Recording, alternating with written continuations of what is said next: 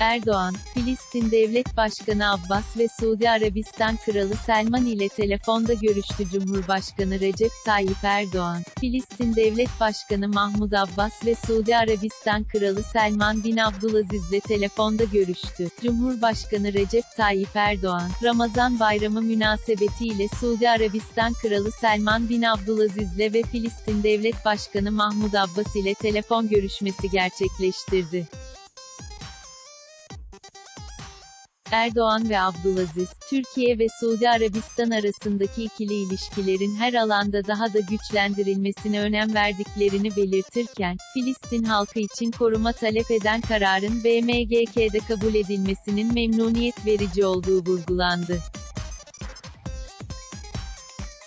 Erdoğan'ın Abbas ile görüşmesinde ise Filistin ile alakalı son gelişmeler ele alındı. İki lider, Filistin halkı için koruma talep eden kararın Birleşmiş Milletler Genel Kurulu'nda kabul edilmesinin önemli bir gelişme olduğunu işaret etti.